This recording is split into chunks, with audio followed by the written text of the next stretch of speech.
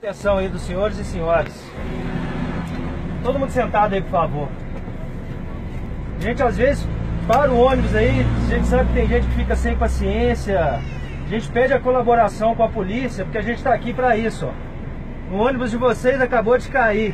Maconha, cocaína e uma arma com elemento. Esse material estava indo para Belo Horizonte. Ia alimentar lá a favela, ia alimentar boca de fumo. Então muitas vezes os filhos da gente, dos senhores e das senhoras, vão nessas bocas comprar isso aqui, ó. E o nosso trabalho é tirar isso aqui da rua, beleza? Então a gente agradece o tempo que na verdade vocês não perderam, vocês ganharam aí com a Polícia Rodoviária Federal, tá ok?